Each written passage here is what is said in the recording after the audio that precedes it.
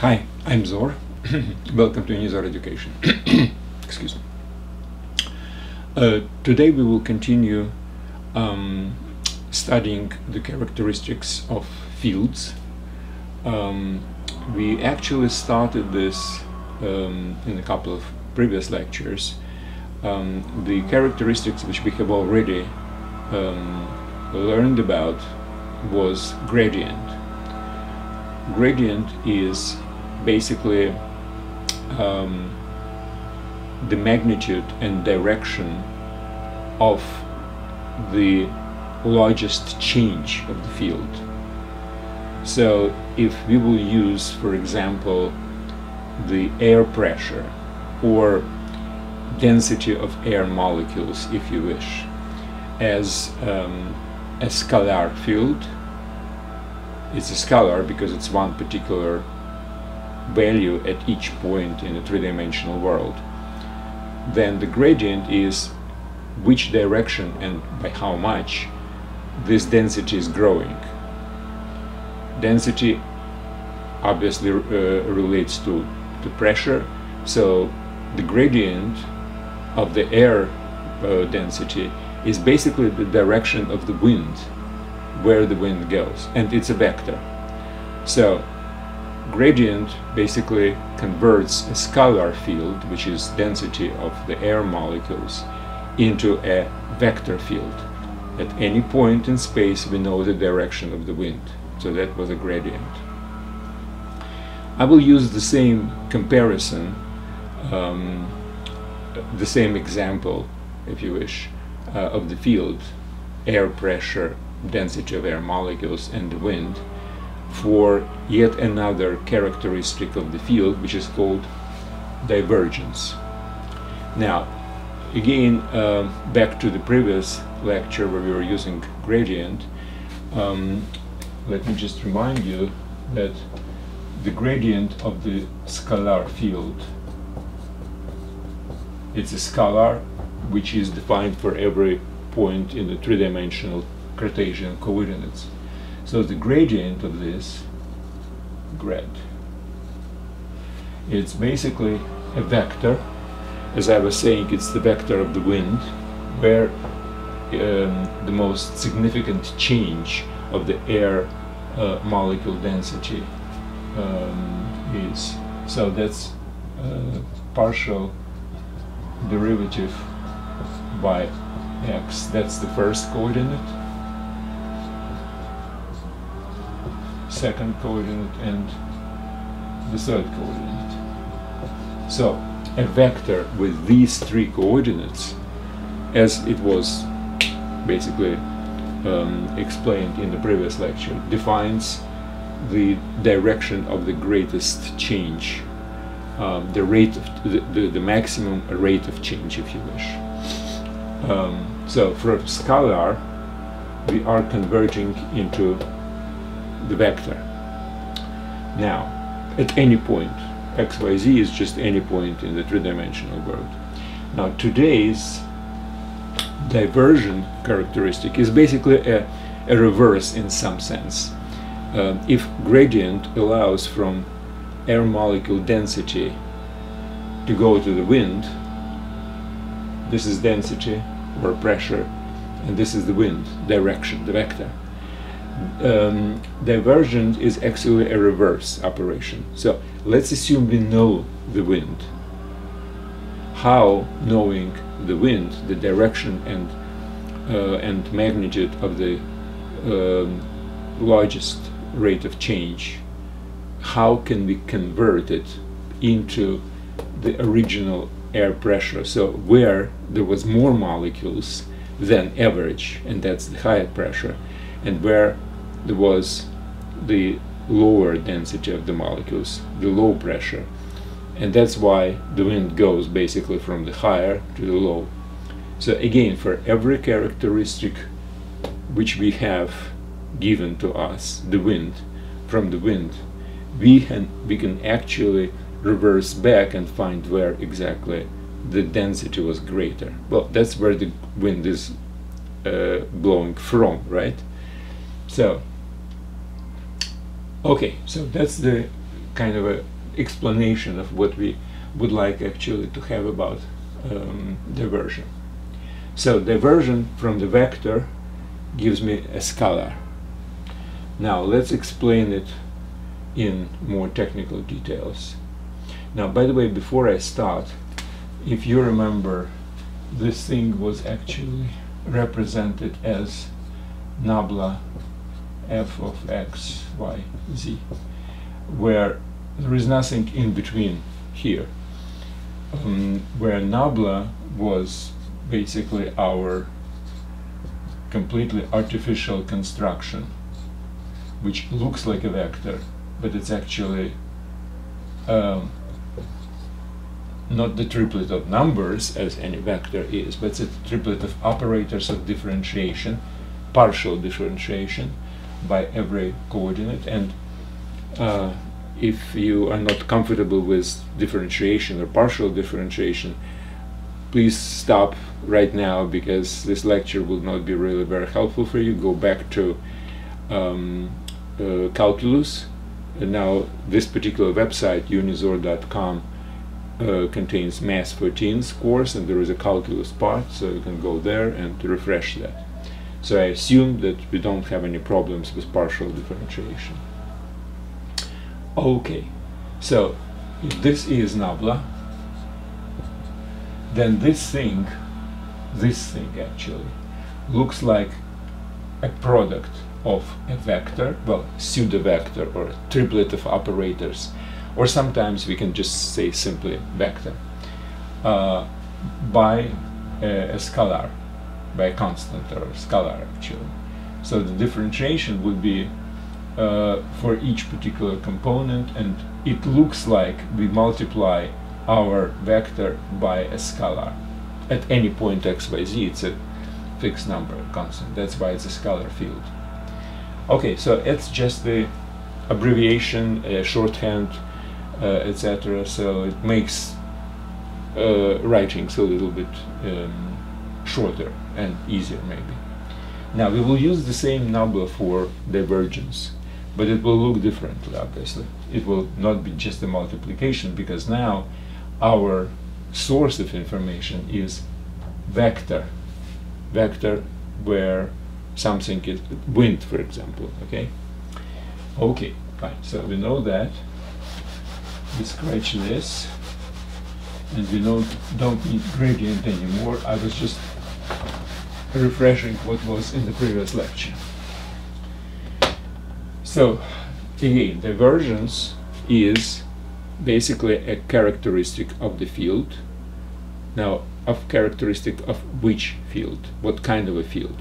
Now, for a gradient, we are talking about scalar field and converted using the gra gradient converted into vector field, vector field, because at every point uh, in the three-dimensional world there was a vector defined. So we had three components. Now, right now we are assuming that vector field is given. So the wind, for example, at every point, at every point in space we have the wind, which means we have a vector which has a magnitude and, and direction. Now we have to use it to find out where exactly the air pressure was greater, where density of the air molecules was greater. Okay, so how can we do it? Alright, well, here is how. For example, this is our three-dimensional world and at every point we have a vector. So let's say this is a point p, x, y, z. And there is some kind of a vector here, which is v of x, y, z. So at every point we have, at, every point we have a vector. That's our wind, if you wish, okay? It's always convenient, you know, to have some kind of a physical representation of this. So we have a wind at every point. Now, what I would like to do is, I would like to know what is the density of the molecules, air molecules, at this particular point. Um, how can I do it? Well, here is how. Let's draw a little parallelepiped here.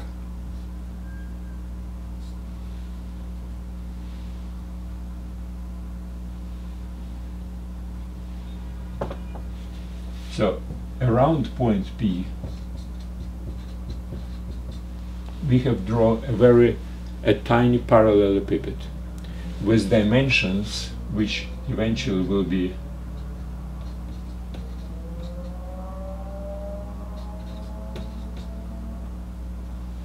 with dimensions delta x, delta y, and delta z, which will be, as you understand, uh, infinitesimal. Now, I would like to know what's the density if I know the wind. Okay, fine. If I know the wind, I know this vector v, I know all these three components of this vector v.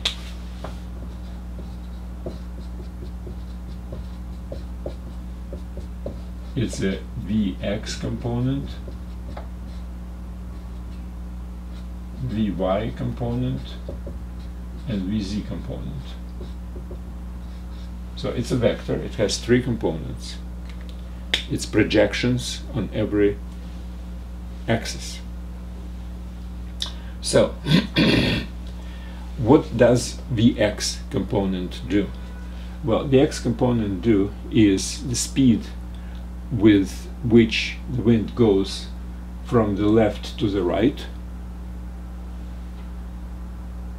Vy is, uh, how is it, from front to back, or from back to front, doesn't matter. And Vz is from bottom to up. So these three components each make their own contribution. And instead of talking about one particular vector, v, which is going in some direction, I can actually analyze situation by coordinates. Okay, so let me see what kind of contribution vx does. Okay, there are a certain number of molecules going in and certain molecules going out from this parallelepiped and I would like to count them somehow. Okay, how can I do it? so let's put some letters here. A, B, C, D, E, F, G, H. So, let's talk about the component Vx. Now, the coordinates of uh, A is if my point in the middle P has x, y, z and my AB is equal to delta x, the component of A would be x minus 1 half of delta x, um, y minus 1 half of delta y, and z minus 1 half of delta z right? Because we the, the xyz is right in the middle, and this is to the left, to the to, to down, and uh, and to the front, right? So every particular, um, I think I should really put this kind of easier to understand. This would be x, this would be y, and this would be z. I think that's easier. Okay, so now we are to the left of x um, to the front, to, to the, well, to negative direction of y and negative direction of, of uh, along the z. Okay, so this is coordinate at this point. Okay, now I'm talking about contribution only of the Vx. Now, what is the speed of molecules going from the left to the right? So all these molecules going from AEHD to BCGF, going through this parallelogram. Para parallelepiped, sorry, parallelepiped. Well, uh, I know the area AEHD, uh, same as, by the way, BFGH, and the area is equal to delta y times delta z. Right? So x goes this way, so this way is delta y, and this way is delta z. So this is delta x, this is delta y, and this is delta z. okay. Now the speed. Now I'm talking about only the x component, right? So I have a speed vx, but I think that considering my delta x, delta uh, y, and delta z are ultimately infinitesimal, I can always consider that the speed within the whole square ADHE is the same as the one which is in the middle. Again, when I'm uh, squeezing this in, that would be obvious. And again, if the difference uh, exists, it will be the difference of a higher order. It's a typical with differentiation kind of assumption. So the speed would be my point x, coordinate x would be x minus 1 half delta x. Now it's in the middle of this square, right, of the left, left square. So y and z would be exactly the same as the center. So it would be y and z. So that would be my speed. Okay, now this would be my area. So the uh, the um, number of molecules would be proportional to the product of the speed and the area. Speed is, basically how much they move within uh, unit of time, within second. And if I multiply it by the area, it would be the number proportional to the number of molecules. Obviously, it depends on some properties of air, but we are not talking about this. Properties of air would be uh, everywhere will be the same. So if I will multiply by delta y and delta z, that would be a number, well, proportional to a number of molecules coming into the parallelepiped during a unit of time. Now, what comes out? So this is the plus. What comes out? Comes out through this line, B, C, G, f. The area of this line is the same, but the speed would be speed on the on this side, which is plus one half of delta x, y, z, and times delta y times delta z. So this will be my income, this will be my expenses. This is coming proportional to coming air molecules, this is proportional to leaving uh, this parallelepiped. So, how much is left? Well, obviously we have to subtract one from another, right? So, what happens if we subtract one from another?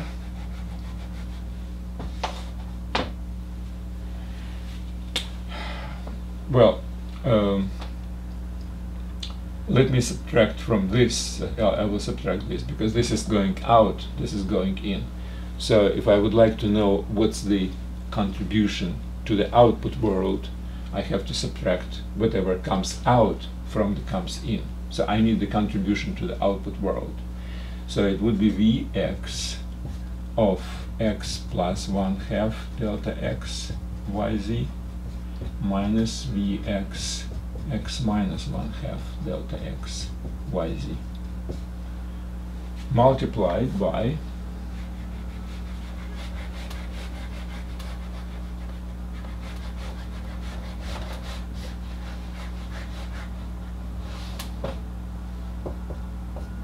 delta y delta z. Now, again back to um, uh, calculus, you remember that we had a very simple property.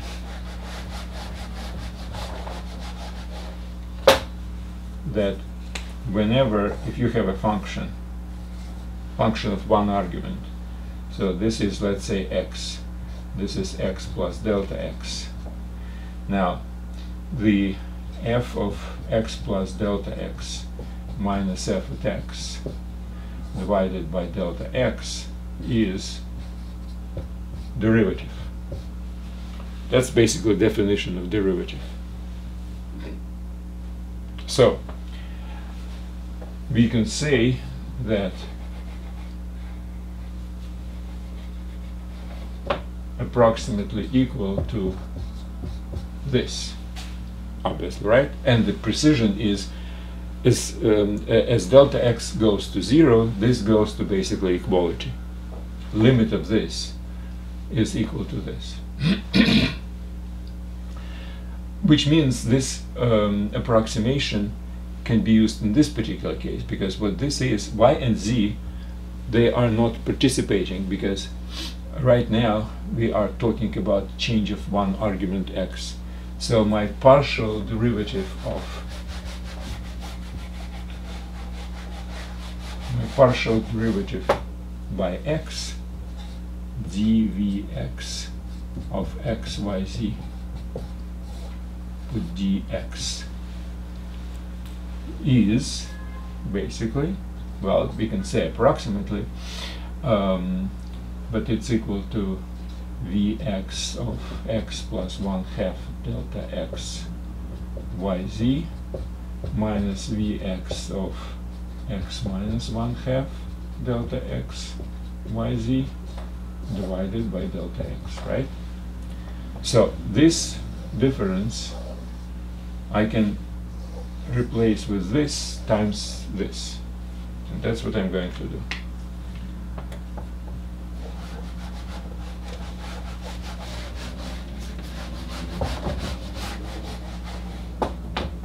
So this is approximately, and again, the approximation is greater and greater as I'm squeezing my parallelepiped. dvx of xyz by dx, partial derivative by x. The difference between them is delta x, so that's why I multiplied by delta x, delta y, and delta z, which is actually a delta volume, right? So this is a contribution of my wind from the left. Well, the x component of the wind. That's what it is. It's my contribution to the output world. Okay, great. Now, what's my contribution, let's say, along the y-axis? Well, absolutely the same, as you understand. So, my all contributions would be equal to in a unit of time. This plus by y and by z.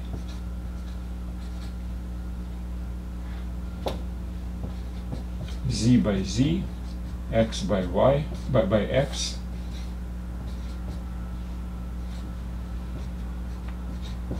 this is a total contribution of all of them.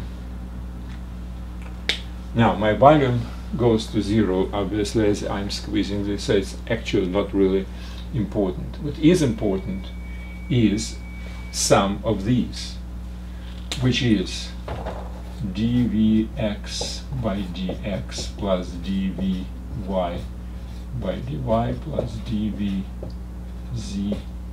by dz. That's what's important. Well, obviously I, I should put uh, arguments x, y, z for each one of those. So the sum of these would be the contribution of the wind at this particular point, p at x, y, and z. Okay, so this expression actually it's called divergence of the vector v. And again I assume that v has components x vx vy and vz so v is actually a function of three argument but it's not just a function it's a triplet of functions which are by x, projection by x, projection by y, and projection by z. It's a vector.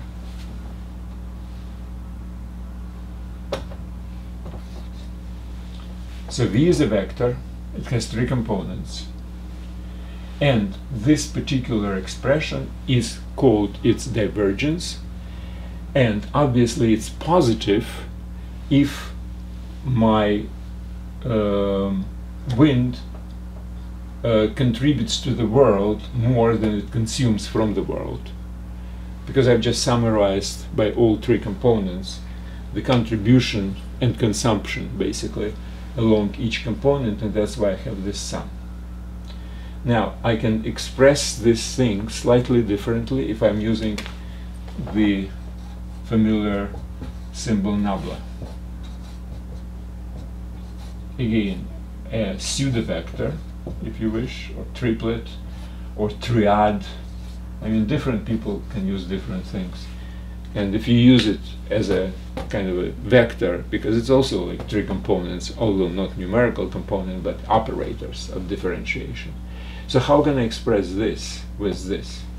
Well, look, this is a vector, this is a vector.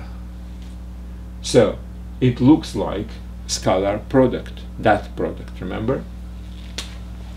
If I'm multiplying A, B, C times I should really use curly brackets as a vector. Vector ABC. These are projections of, on x, y, and z by vector D, E, F. So what's this scalar product is? It's A D plus B E plus C D. It's a scalar. So Look what we have done. Divergence of the field I'll put this, which is a vector. It's nabla scalar product with vector.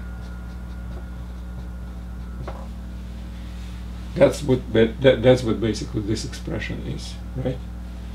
So again, this is, divergence is, a net contribution of the wind at point xyz to the world.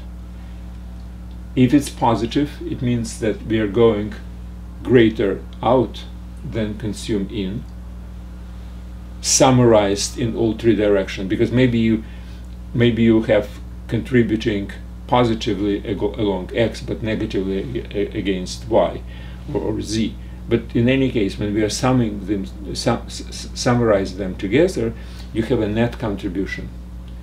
So if my divergence of my vector field, which is, let's say, speeds of the molecules, uh, vectors, velocities of the molecules.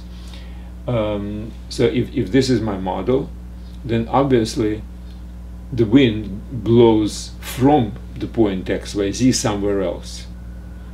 So it corresponds to a greater density of the molecules. Because if you remember again, we had this multiplier, delta, delta, delta volume. So if, without that multiplier, it's a density, right? So our quantity was a quantity of uh, molecules which we are getting into the parallelepiped was divergence times delta volume, which is the volume of the parallelepiped. So without that volume, it's a density. If you divide it by volume, it will be density. So this is basically for molecules of air is the variable a, a, a scalar which basically represents the density. Now, if you have another model, for example, you have electric field. Now, what electric field basically does, instead of molecules, you have charges, electrons, right? So, exactly the same thing. The density of the electrons in any particular point of space where electric field exists is the divergence of the field. But instead of the wind, we should use the intensity of the electric field. We will talk about this when we will go back to electromagnetic fields and application of all these field properties to electromagnetic field, we will definitely talk about these particular things. Uh, basically, the first Maxwell's equation is about exactly this that divergence of the electric field is corresponds to with some multiplier corresponds to the density of electric charge in that particular point. Now, when we're talking about uh, air pressure or density of the molecules of air, or we are talking about density of electric charge, we are not talking about absolute density, we are talking about density above and below some kind of average. Now, the average in case of electricity is when you have the same number of positive and negative um, uh, charges, let's say electrons and protons. Now, if you're talking about the air, well, there is something which we can call average air pressure or air density. And if everything is average, there is no wind. The wind exists only because there is a, some kind of a above average or below average density in certain places, and that's why the wind goes from the higher to the lower. Okay, so that's basically what I wanted to say about divergence of the field.